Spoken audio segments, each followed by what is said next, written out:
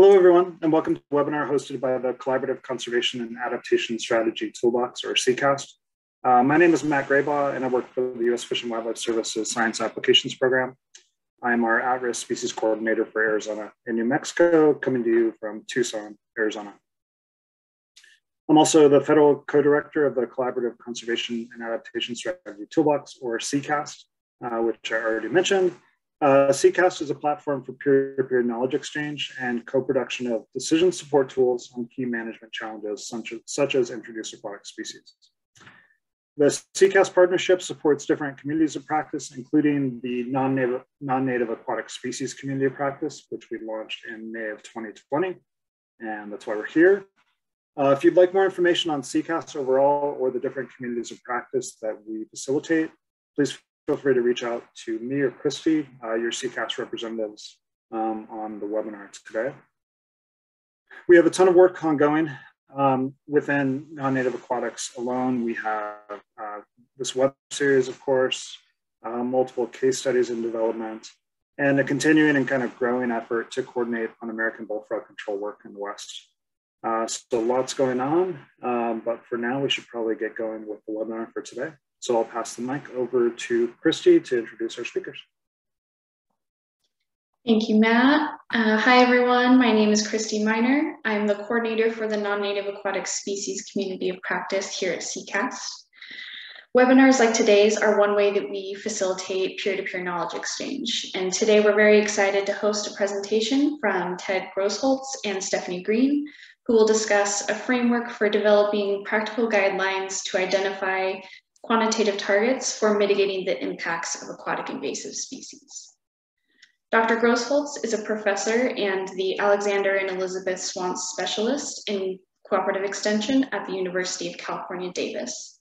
He is a benthic marine ecologist whose work includes quantifying and managing the impacts of aquatic invasive species in coastal ecosystems.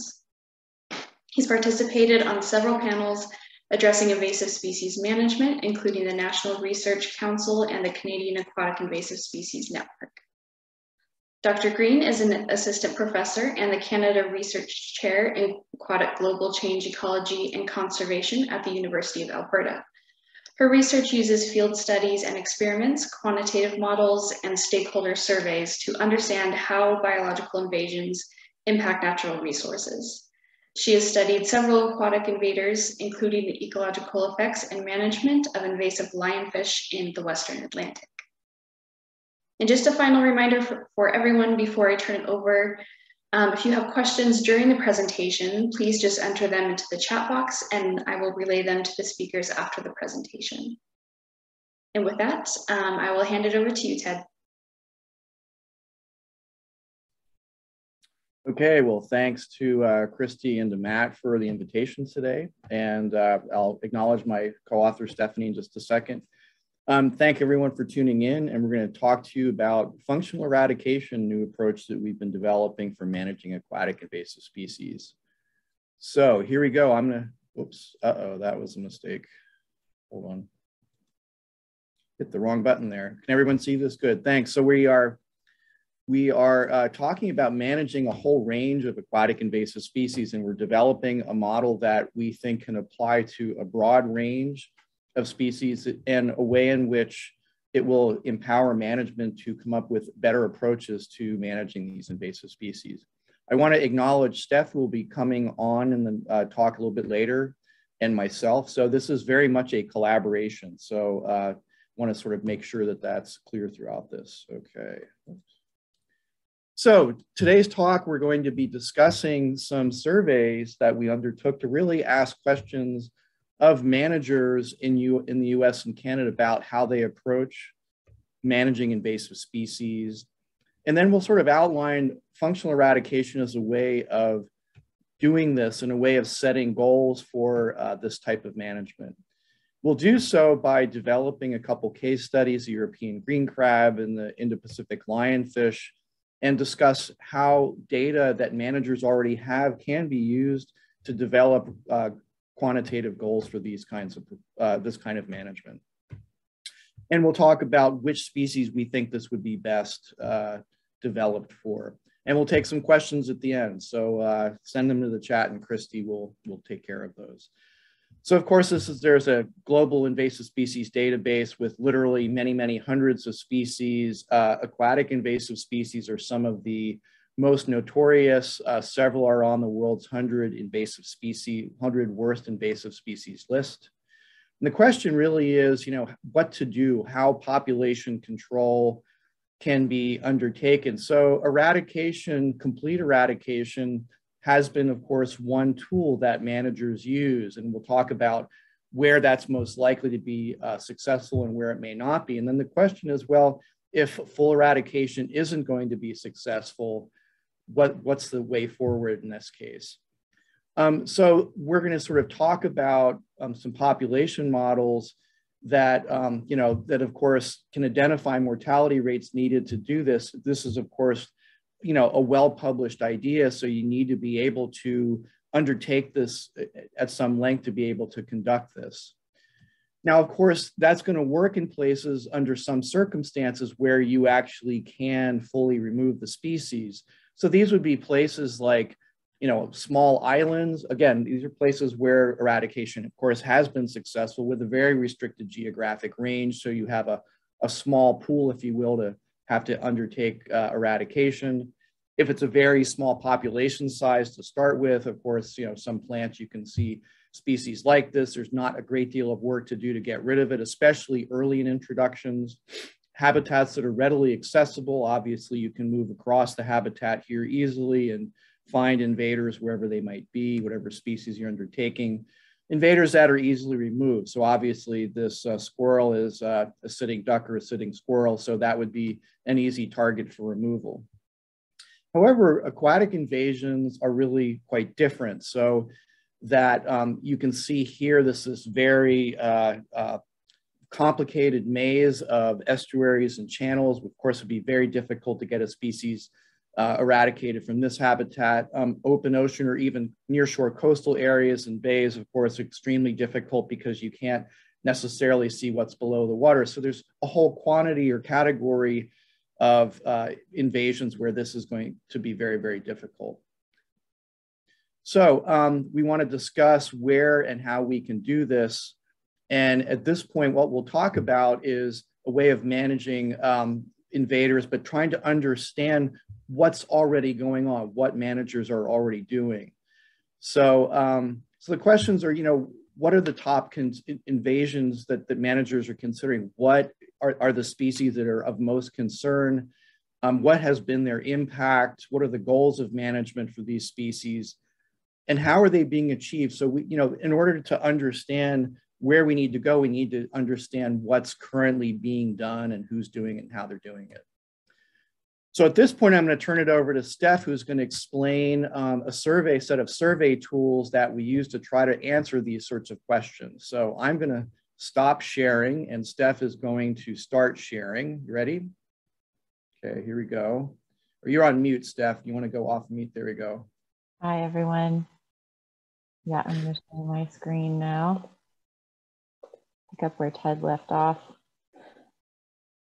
So as, as Ted said, we've um, been doing deep dives in our own work and in our collaborations into population control for um, invasive species, particularly in aquatic environments. And um, our experience has really highlighted the context in which um, eradication may not necessarily be feasible, but we really wanted to know whether um, you know, the case studies that we have been working on um, resonated with others, both in the science community and also in the large community of practice focused on aquatic invasive species, um, particularly in the US and also in Canada, where we're both based.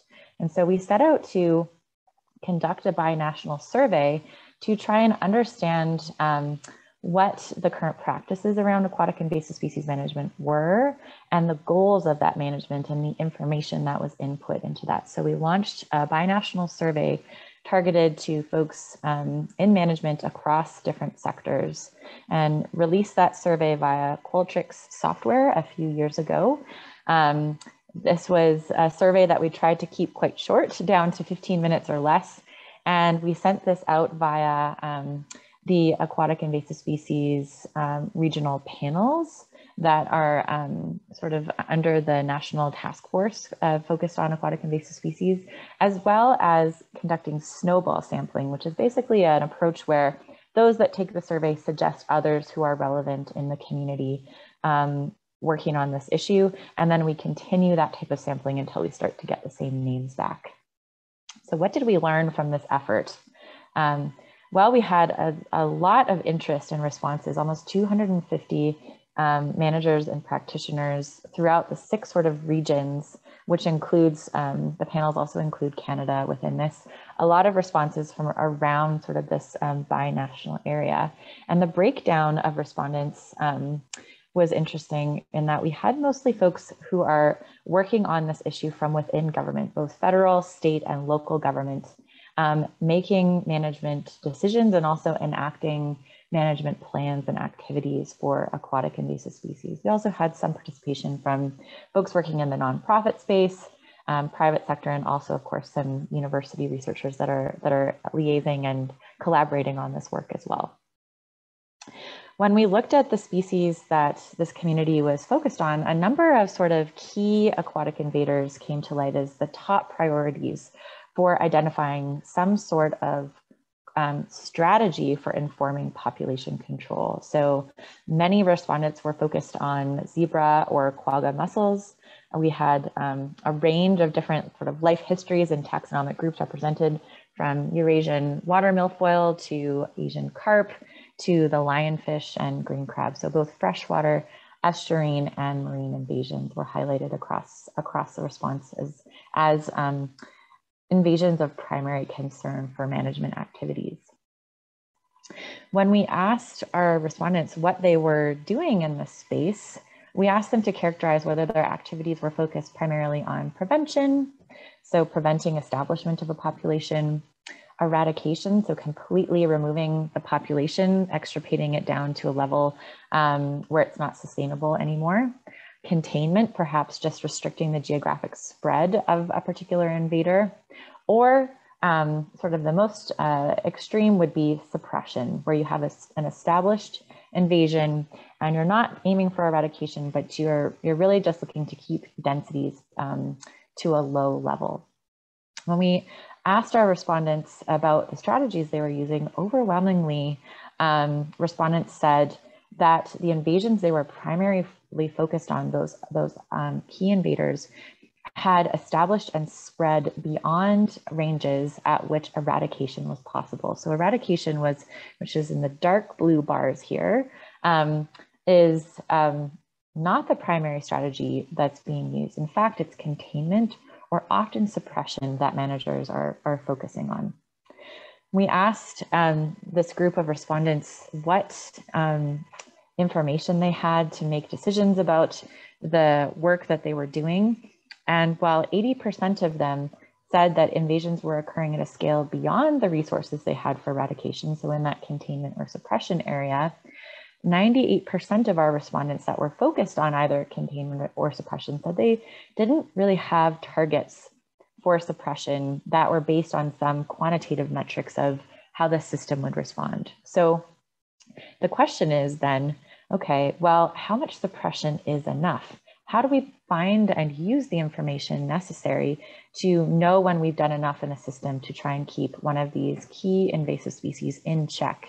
Um, and in particular, uh, from causing damage within the native ecosystem or uh, suppression that would allow for recovery of whatever the valued resource or, or biodiversity component might be. And so um, the way that we have sort of been conceiving of how one might be able to go about setting targets for um, invasive species control along this sort of spectrum of activities, if we think of um, prevention as being where we have sort of a few individuals introduced and we've got enough resources to be able to prevent that establishment and populations that establish being able to be eradicated if they're small or isolated or um, easily findable and removable as, as Ted discussed. Um, those are where we might use some of the sort of traditional science that's done in invasion biology to try and inform management. So creating those single species population models that just tells us how much harvest or mortality we need to have to place the population into decline because our really our goal is to extirpate or eradicate that population. However, as we start to move into this idea of containment or suppression, that typical sort of um, scientific approach where we've where we've generated models isn't isn't as um, isn't may not be as useful any longer because our goal has shifted. We're no longer just seeking to identify mortality targets. We're interested in properties of the system that we want to maintain while we have the invader present at some level. And so this is where we propose a shift in thinking from um, what we call numerical eradication towards functional eradication. And I'll discuss that in just a second. Here, we're essentially setting targets for suppression and high priority areas with the goal of protecting key ecosystem components with the limited resources that we have. Essentially, a way of sort of going about allocating those limited management resources to have maximum impact on whatever our um, conservation or management objective is. So what does this actually look like? It's great to see a schematic, but how might this actually work in practice? So as we're proposing a shift from numerical eradication to functional eradication, um, this might involve what we see as sort of three key steps. The first of which is actually identifying the mechanism by which the um, focal invasive species has impact on the recipient ecosystem. So be it predation or competition with native species or um, crowding out for habitat space or um, replacing sort of certain functions within the system. The second of which is to link the densities or the abundance of the invader to that characteristic or property um, of the effects that they have. So linking essentially the density and the impact of the invader. And then considering whether or not there are thresholds in that relationship that be, could be used to guide management, and also whether that's feasible in terms of the repopulation of the invader itself as you do the control. So certain types of information are uh, really useful for actually um, operationalizing this type of a functional eradication approach. We asked the managers that we spoke with in the survey about some common types of information that could be used in this framework. The first of which is information on the population densities of the aquatic um, invasive species, or ANS as it's called in the top left panel. Uh, information on the ecological impacts that that invasive species is having, having in the system that they study, impacts on native taxa that are present, and also socioeconomic impact data are all useful to try and link populations of the invader to um, the effects they're having in the system. And as you can see here, actually many of the practitioners we spoke with are already gathering these types of monitoring data within their jurisdiction, in particular, data on um, the abundances of the invasive species and on the ecological effects or even just um, impacts to native taxa. A majority of uh, respondents said that there were some data that existed. And that's great news for leveraging that information to be able to set up um, a functional eradication approach. So now Ted and I want to take you through two case studies that we have um, been working in in close collaboration with local partners to further illustrate how you might actually operationalize using this type of monitoring information to set functional eradication targets for um, an invasion of interest. The case study I want to take you through is the Indo-Pacific lionfish. It's a marine invader that is present um, throughout the Western Atlantic Ocean, and it has colonized um, coastal habitats across the uh, Eastern US and also Caribbean territories of the US as well. And um, it's pictured here. It's a beautiful, charismatic uh, aquarium fish that has been transported globally from its native range in the Indian Pacific Oceans throughout the world and is now causing quite an invasion in the Western Atlantic as well as the Mediterranean Sea. This is um, one of the distribution maps for uh, lionfish in its non-native range in the Western Atlantic Ocean. The red dots report sightings of the species to the USGS um, non-Indigenous aquatic species database. I've just taken a screenshot from 2015 because the red dots just get more dense. The area doesn't necessarily get, um, the, the geographic spread hasn't necessarily uh, increased, but it, the densities have increased. Um, and as you can see, they're established along coastlines bordering a number of states in the US, as well as a number of territories and countries within um, the tropical Western Atlantic and Caribbean basin. Densities of lionfish in this region have increased exponentially following colonization to the point where this species is one of the most abundant species of its size class and trophic position on habitats where it has become invasive. And numerous studies have documented the ecological effects of this new fish predator um, on the native ecosystems that it finds itself in in the Western Atlantic. Um, one of the uh, roles I've had the privilege of playing is uh, in facilitating management planning throughout this region, both in US territories as well as internationally. And one of the key questions here has been, what is the approach going to be to managing lionfish given that um, given that they have such a wide range and they're so abundant, manual removal of the species um, by spearfishing and by harvest through nets is sort of the primary approach to population control for this species. And when we brought managers and scientists together from across US states as well as internationally to share lessons, one main thing became clear. Complete eradication was really not what the objective was for, um, for population control of this species. Really, what we were looking at was suppression or a functional eradication strategy, given the broad geographic range of the species, which is indicated here in red, which is based on thermal limits, and the huge range of habitat types that they occupy. So key questions for our management partners became, what level of population reduction is sufficient to control the impacts of these uh, invasive uh, predators in the system? How can those efforts be sustained given that there will always be some lionfish in the system? And where should we prioritize these efforts? So I want to focus in on using um, very particular, very specific, I should say, monitoring data that partners had um, and that we gathered together from various regions um, that were invaded by lionfish to try and set targets for population reduction based on a functional eradication approach. And so what I'm going to show you here is two quantitative relationships that are really integral to functional eradication. The top panel on the left, I'm showing you uh, the relationship between lionfish density and densities on that y-axis in lionfish per hectares. And on the top panel, its relationship with the proportional change in native fish biomass. So this is the density impact relationship for lionfish, how, how lionfish numbers impact native species through consumption because they're a predator. The bottom panel is another key relationship that we want to know as we're setting out and evaluating whether this is a good candidate for functional eradication. And that is the relationship between lionfish densities and how quickly they recolonize uh, a site after we've done our control. Now, there's a couple of different potential relationships that could exist between these important properties.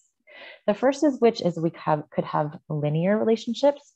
For example, in the top panel, as lionfish densities go up, we could see that there is a steady decline in perhaps the biomass of native fish, the prey that lionfish would consume. And we could also see in the bottom panel, for example, a linear relationship between lionfish density and how quickly they recolonize a site after we've done removal. So the more lionfish we have in an area, the quicker they're going to come back to a site after we've called that particular location. But we know from a lot of other ecology research and, and domains of, um, of management experiments, I'll say, in the system, that relationships often aren't linear in the natural world. And what we might actually see is some nonlinear relationships, such that, for example, in the top panel, we might see a threshold above which lionfish densities actually start to have a really rapid impact on native species in the system, but that at low densities, there really isn't too much of a change. We might also see that there's a nonlinear relationship between lionfish densities and how quickly they recolonize an area.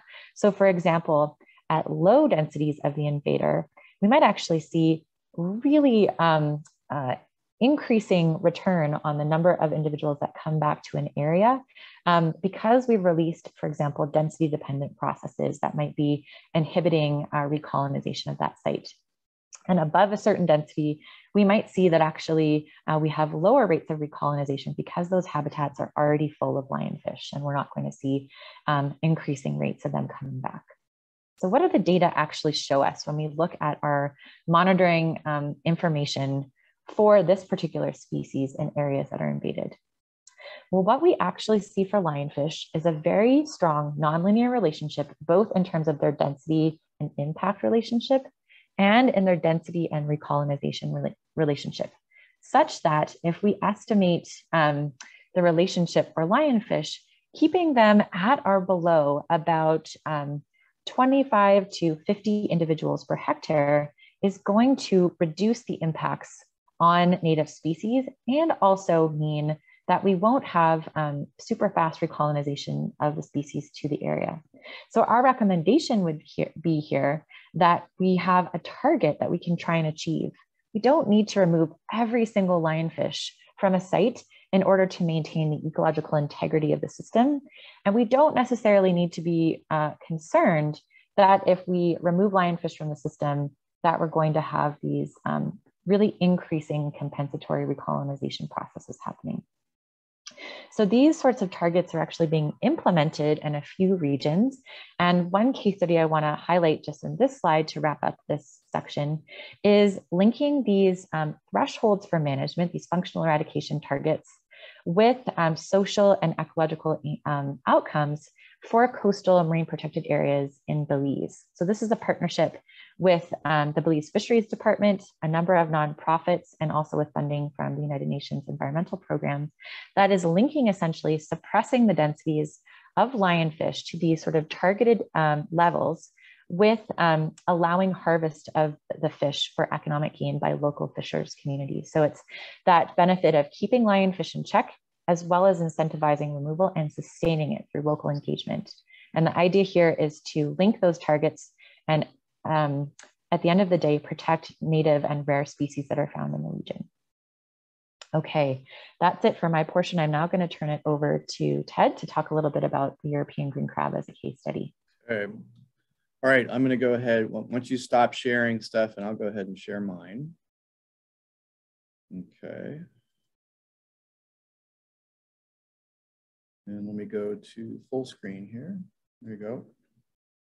Okay, thanks. That was great. I'm assuming everyone can hear and see me. So uh, a second case study will cover some of the same sorts of principles. and it's going to also include some of the cautions uh, about full eradication um, that we've come across. So uh, in addition to the principles that Steph outlined, um, we have similar information many others do for this species which is uh, found to invade worldwide, um, but with also some caveats that would make uh, choosing that functional eradication level very important.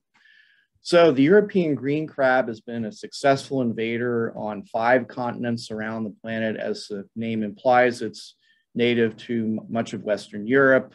Um, it invaded the uh, East Coast and then later the West Coast of the US um, but has also successfully invaded uh, South America and Argentina, South Africa, uh, the Australian mainland. Um, so it, has been very successful um, as an invader. It's had substantial economic and ecological impacts, um, best documented in North America on many native species. Um, it's had substantial fisheries um, consequences. It's, it's still re, uh, is resulting in $20 million every year of lost fishery income on the East Coast, uh, in particular areas like uh, shellfish producers on the Rowley River in Massachusetts and other places like that, and smaller losses in, in other locations. It's clearly amongst the world's 100 worst invaders. It really has caused very similar impacts wherever it's been introduced. It has been introduced on the West Coast, and I want to talk just briefly about a very small, uh, localized effort that we um, undertook to try to locally eradicate green crabs. And I wanted to use these data to sort of highlight an additional pitfall for uh, full eradication programs. This is just a snippet from a recent paper we had in the proceedings of the National Academy of Sciences that shows eradication over a five-year period. So we had a small embayment in Central California. I'm happy to answer questions about this. It's, it's well documented, where we reduced the population to, you know, about less than 10% of what we initially started with over a five-year period. And then suddenly we had this reproductive explosion and the population went right back to where it was before. So we lost all the ground that we had um, undertaken, all the effort that we had put in for this eradication program, um, as you can see, the age structure was such that it was mostly adults in, this uh, pre-eradication period. Of course, we're only harvesting adults. As with many or most eradication or control programs, it's very difficult to get small sizes of juveniles. Um, so in many cases, you're removing adults. Um, and what you see here in 2014 is this massive explosion. The population was almost entirely juveniles. And what had really happened was um, we had removed all the adults, most of the adults that we had removed control of these small sizes. So all the reproduction in that next year um, were, uh, were not um, consumed by adults. So green crabs, but like most crustaceans and many, many fishes, um, will eat young, you know, the young uh, wherever they are. So again, this sort of we'll say cannibalism, if you will, is very common throughout many, many fishes, lots of crustaceans, lots of aquatic and marine species. And this was the key to explaining this overcompensatory um, reproduction. So this is that same curve that um, that Steph showed you with uh, lionfish, this overcompensatory curve. And what we literally uh, found in our work was just that. So when we had reduced the, pop reduced the population down to this level, we had this massive increase in abundance and uh, a really great demonstration, unfortunately, of one of the pitfalls of trying to reduce or trying to eradicate a population entirely.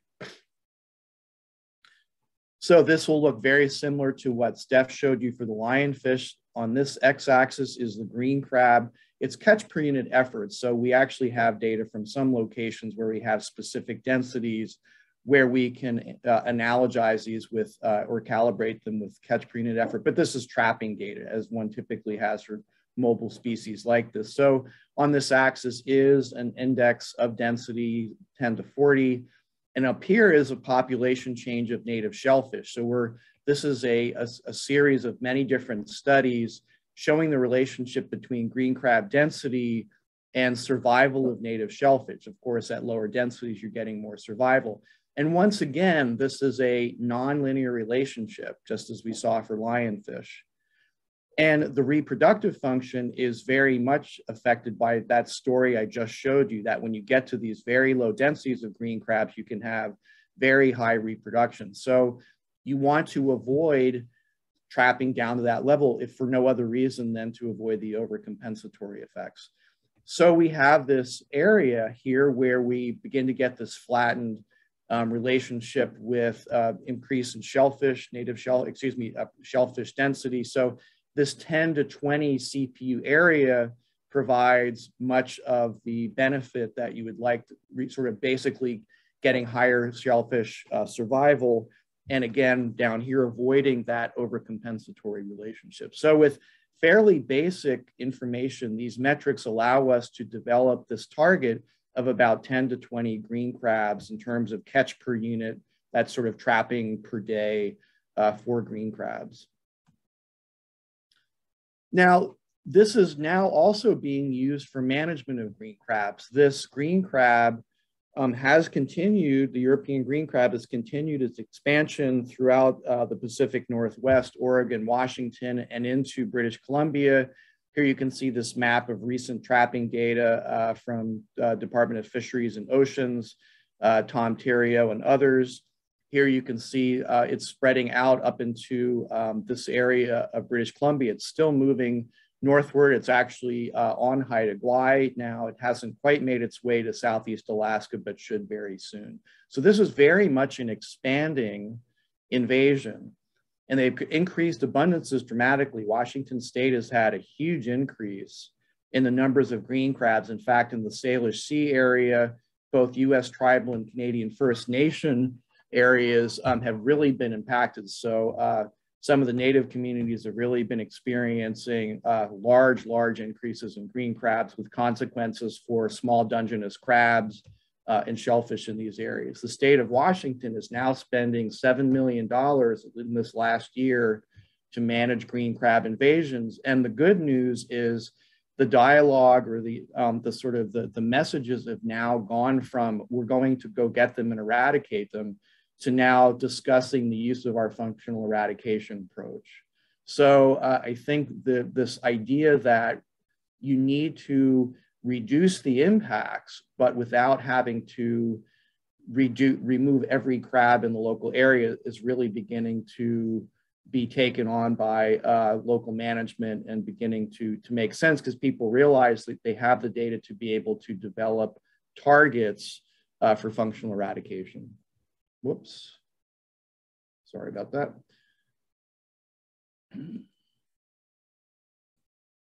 Hit the wrong button. So um, I'd like to sort of end with just sort of a view of this. The point that we'd like to make is um, this is a point made by Bethany Bradley and her colleagues regarding this nonlinear relationship, because several of you are thinking, well, gee, this must be just specific to green crabs and lionfish and others. This is a synthesis of many, many studies showing this nonlinear relationship between a native species response and the abundance or density of non-native species or AIS invasive aquatic species here on this axis. So you can see this, this is a lot of different studies. This is a general relationship. So there are the opportunities for thresholds. Again, if this is a linear relationship, it doesn't matter what level you pick, more is better. But in this situation, there are thresholds, as we explained, where you would be best off to target your management actions. It's greater, it, relationship is stronger for predators, a little bit less so for competitors and really kind of not really so for we'll say uh, lower level invaders you know primary producers and things but for a lot of the consumers that we've talked about for many of the species that uh, you can imagine in aquatic systems lots of fishes lots of uh, crustaceans crayfish etc this is going to be a very robust relationship and very useful for developing targets for functional eradication. Okay, well, we'd like to finish up with acknowledging lots of partners and lots of assistance, lots of funding sources, NSERC and NSF and Pacific States, and um, uh, National Marine Fisheries, and lots and lots of help from the Aquatic Nuisance Species Task Force and the regional panels that help to provide uh, the capacity for undertaking the survey data. So I think at this point, we'll probably stop, and I think both Steph and I are happy to take questions, uh, which I think Christy will moderate. So I'm going to give the screen back to Christy. Thank you. Great. Thank you so much, Ted and Stephanie. That was a great, great presentation. Um, looks like we've got just a couple questions that came through in the chat, but feel free, um, anyone in the audience, to keep them coming. Um, the first question is kind of a three-part question. Um, is functional eradication a perpetual management scenario, meaning that we need to keep removing forever? And do you feel like that's a sustainable approach? Um, adding on to that, is it only viable for species with a market value? So could I, I'll, I'll take it and then maybe Steph will also answer that too on different levels. Um, yes, and I'll make two points. Uh, one is that um, there are many species for which the sort of they're they're continually being brought in. So even if you really truly eradicate a species, you may find in several years, ups, it gets introduced again. We've seen that with Caulerpa, we've seen that with lots of others. Um, this will really work in places where it's a high priority species in a targeted area. We've been able to undertake eradication using citizen or community scientists. So we've actually been able to maintain a reduction or a, or a suppression program for now six or seven years using interested community scientists and volunteers.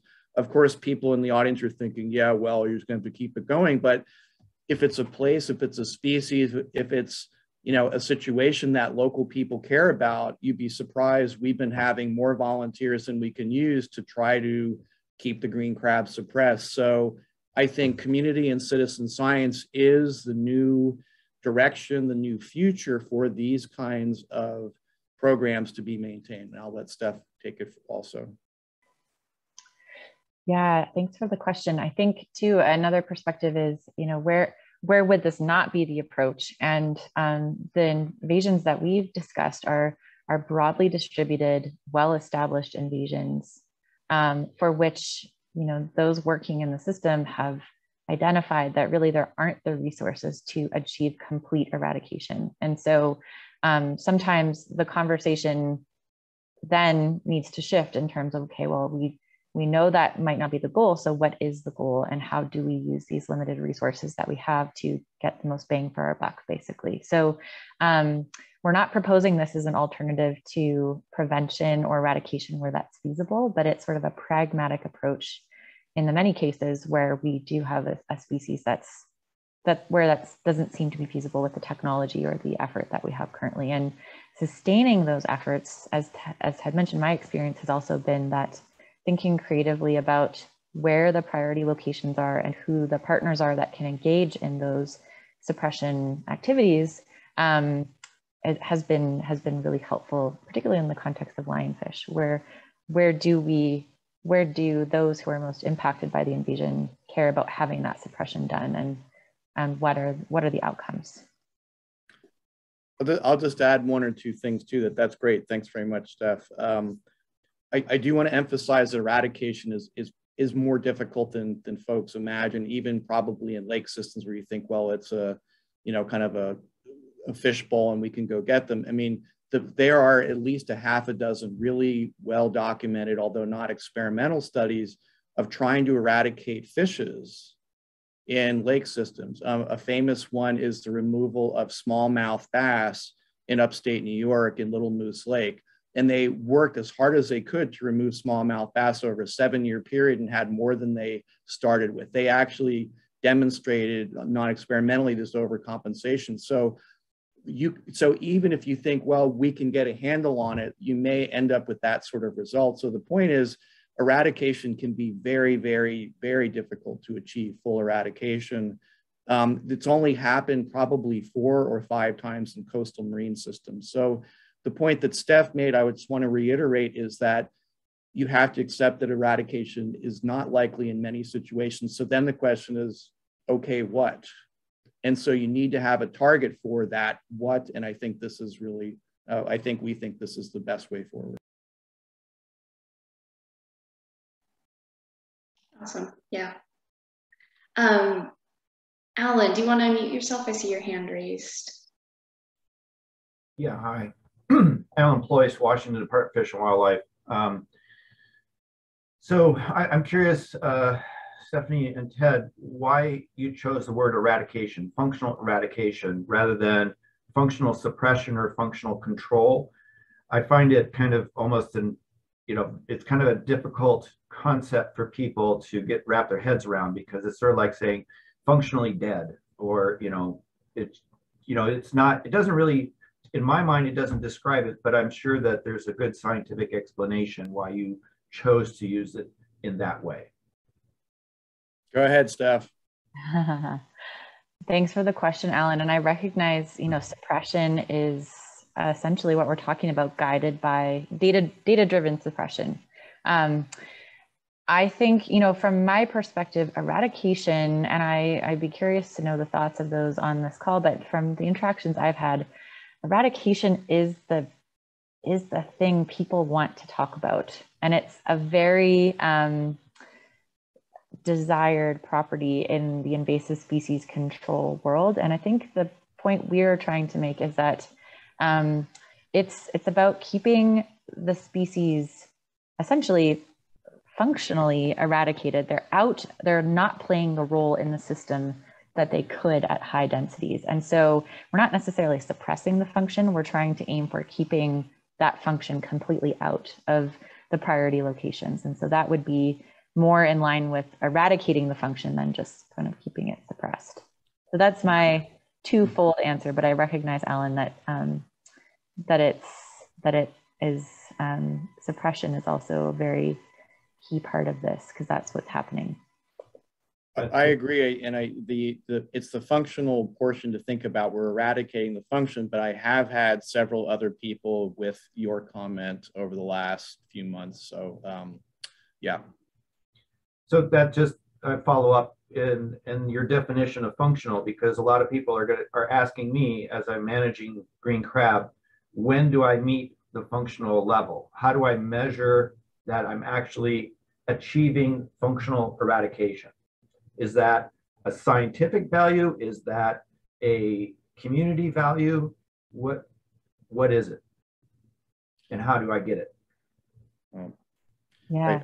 I, I think, I mean, I, you know, the models that we showed suggest if you can eradicate, if you can, excuse me, suppress down to a level, you'll get your hopefully ecosystem function native species back to a level that would be acceptable. So um, that's what we're trying to advocate. So that's that's the level. I'm hoping that's answering your question. So it's a it's an ecological metric. That's what we're hoping to do. And in fact, I'm going to have a conversation with uh, Emily and Sean uh, next week to look at their data, which they have to actually help identify what that target is. Right. So, so in Washington State, we have kind of two different things. One is we have a very, you know, good, robust early detection network where there are places where we have hundreds of green crab a year that are captured, which is very, very low. And we try to manage that down to a level where we have single digit numbers of crab that are being caught. And then we sort of gauge our management based on that. And at some point we say, we're making, we're meeting this functional eradication because, you know, we're catching maybe a handful of crabs over a geographic area, but there's no ecological impact that we're measuring. We're just measuring the number of species that we're getting.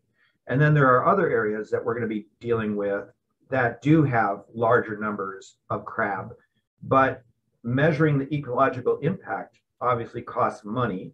And, you know, there's this point where we're still, we feel like we're still at the advanced edge of the uh, invasion curve where the impacts are not necessarily measurable yet. And we're trying to prevent that. So we're, we're really looking at the numbers of crabs versus the ecological impacts to gauge functional eradication. Is that how, how would yeah let, let me take this i mean so the the impacts that i know of the data that i guess emily and sean have are on dungeness crabs so the idea would be to look at the impacts say on dungeness crabs as the example um, i'm going to share my screen for just a second um, if no one minds just to sort of show you what i mean by where those two examples, Alan, that you suggested are on the curve. So if I could share for just a second here. Um, I'm going to go back to this diagram very quickly. And uh, can everybody see this? I'm hoping, yes. Shake your head. Yes. yes.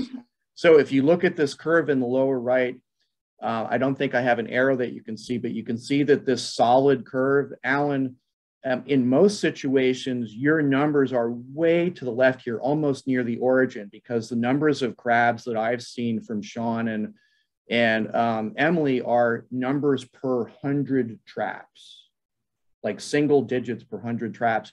You guys are really, really on the low part. So you can see that's the rising part, this left portion of the curve. So you're right, more is better. You can go trap all day and you're way, you're much far below this worry about overcompensation. So at these very low densities should be all systems go to try to suppress, to try to you know keep the population from spreading or moving anywhere else.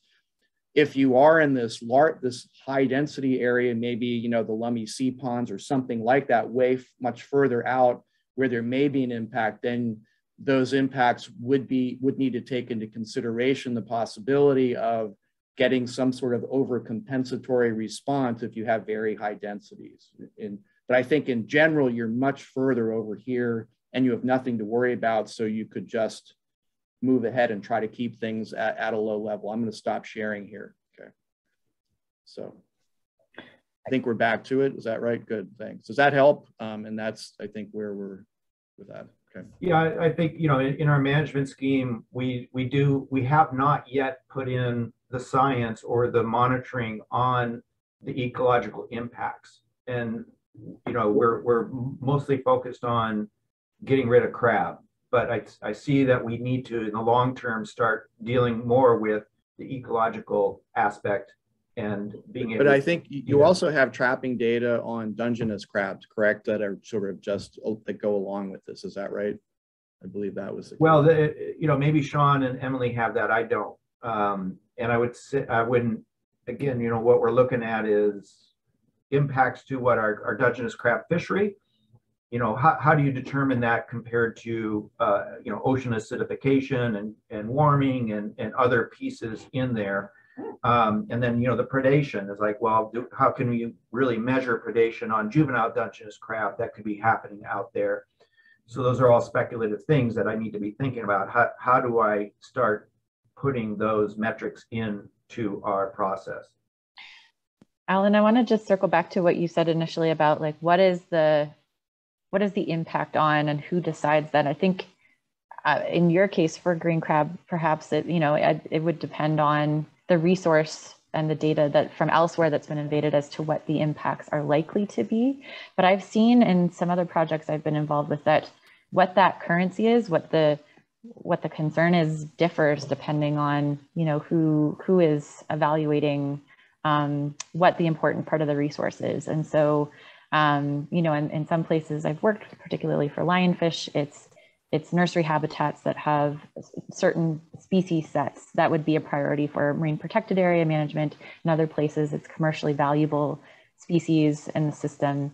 And it could even be sort of um, a, an economic base, you know, um, indicator of impact. And so I think what we're advocating for, though, is for gathering data um, to generate that relationship between density of the invader and whatever that component is and on a gradient. And typically what we see in some places is either data gathered as, you know, presence or absence of the invader. And then we're not really able to look at what the relationship is with density to know where the, when the impacts are likely to start happening. So if there's any opportunity to gather those information together and think about it in that way, it's really helpful for trying to just plot up the data and see what if there is a relationship that you can discern. There, there, there are opportunities perhaps to look at impacts on other things, as you know, probably from other studies. They have impacts on uh, seagrasses, which can be very important. They can also have big impacts on shellfish. So that information could come from shellfish producers and growers. In other words, it doesn't necessarily need to be gathered by WDFW. So there may be opportunities as time goes on to look at impacts uh, using other data sets and other other things. As Steph said, it depends on what's important to, you know, depending on where you are. Yeah. All right. Thank you very much. Appreciate it. Thanks. And yeah, you'll see that, yeah, Matt, go ahead. Feel free to unmute.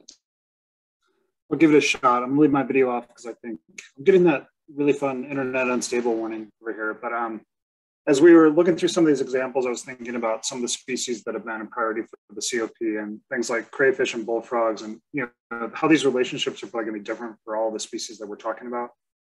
And what I was thinking about a lot during the presentation was crayfish and like, is eradication of crayfish going to be possible in Arizona? And kind of what do we know about those? And I, I don't know that folks are, I'm sure everybody's prepared to answer this real time here, but um, it's something I think I'm thinking about. So I dropped that question in chat. Um, so if folks wanted to jump on and respond to that, feel free here or drop it in the chat, or we can uh, discuss at a later COP call to you. But I'm thinking about the level of information we'd have to even make some of those decisions uh, to be in a lionfish or green crab type situation. But um, yeah, anyway, I'll stop rambling. That was my question, Christy. Thanks, Matt. Do you want to take that, Steph, or I was trying to get the uh, the fee paper up. Uh, so just to address that, Matt, um, we actually have data. I'm going to show this specifically, and um, Steph may have the original um, photo. Um, so let me just share screens just a second, unless you can un I'll unshare for you want to do this. I hope everyone can see this. So Matt, we actually literally included rusty crayfish in our analysis in this paper. So we have exactly the same kind of result for crayfish. So we have sort of a recommended um, sort of reduction target for species like crayfish. So the answer is yes, and I think um, Steph will probably reiterate this, that that's certainly the type of species that we think that this framework would, would do really well with. So um, it has the same kind of information available. So that I realize that's just one crayfish, invasive crayfish species. There are many, but uh, does does that help with that? And um, Steph will probably weigh in to provide some. Yeah, I think I, it sounds like the question is also just generally for the group, and it might be something where, um, you know, there are data. I, I think in our survey, what we found was that many people identified that those data sets, relevant data sets had been gathered, but maybe not collated in, in this way before. And so, you know, questions like yours, Matt, are a really useful one to think about like, well, who might have the data? Is it maybe for a, a not necessarily the focal geographic area, but could it a related one? And um, either the same or a similar species. And obviously, you know, the more the more place and species specific the data on that density impact relationship could be gathered from control efforts and recolonization following removal, that, that's great, but it might be that there's an opportunity to apply data gathered elsewhere to just kind of get a ballpark of what you might you might aim for in terms of removal. Um, so we uh, we kind of combed the literature, combed data sets that were available for rusty crayfish in relation to some native fish species that there were some impacts demonstrated for, but what that density impact relationship is might differ for your region depending on what the target, um, the, the valued resource component is.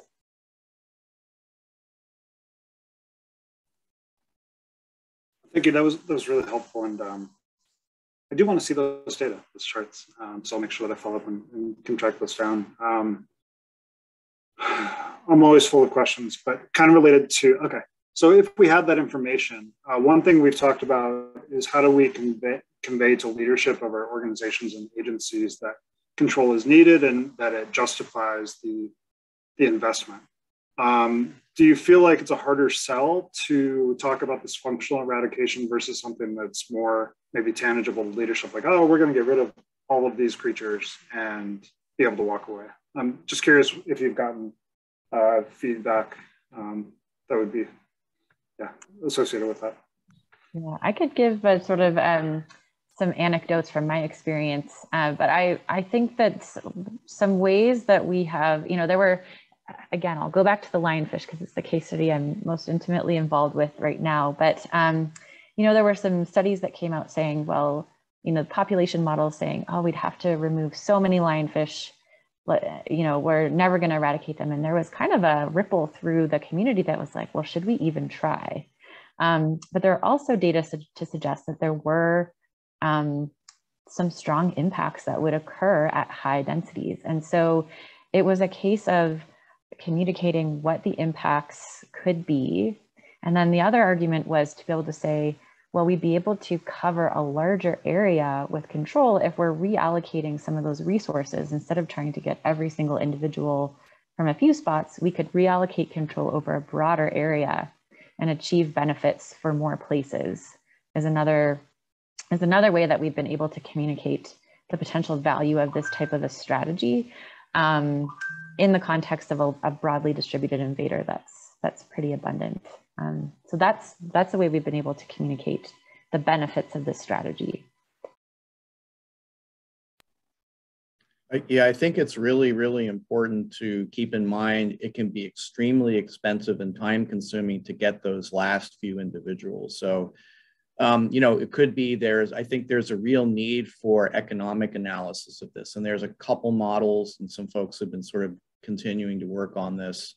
Um, but I think that's that's really important. What Steph said is being able to sort of broadly distribute a modest effort over a larger area rather than focusing all your dollars on the last few individuals may actually be quite equivalent. Awesome, that makes a lot of sense. Thank you both for the explanation. Um, I'm gonna go ahead and close this out. This has been a great conversation. Um, but we are at the top of the hour and I want to respect everyone's time. Uh, so thank you everyone for taking the time to join us. Um, as we said before, this webinar was recorded and we will make it available on our YouTube channel. Um, and Matt, if you have a chance to put that link in the chat, that would be great. You can also find all of our previous webinars there. Um, I also encourage you all to visit CCAST and our case study dashboard, where we currently have 144 case studies on various topics. Also, next month, um, for our next webinar, will be on May 24th, and we're going to be hosting a webinar by Carol Pacey from Marsh & Associates on the Sharing Tales program, which is an Arizona program that promotes education on native fishes in schools across the state. We're always working on lining up more webinar speakers, um, so if you would like to receive our webinar announcements and are already on our mailing list, please just let us know. Thank you again all for your time, and thank you especially to Ted and Stephanie um, for joining us and giving this excellent presentation. We hope you all have a great day. Thanks for the invitation.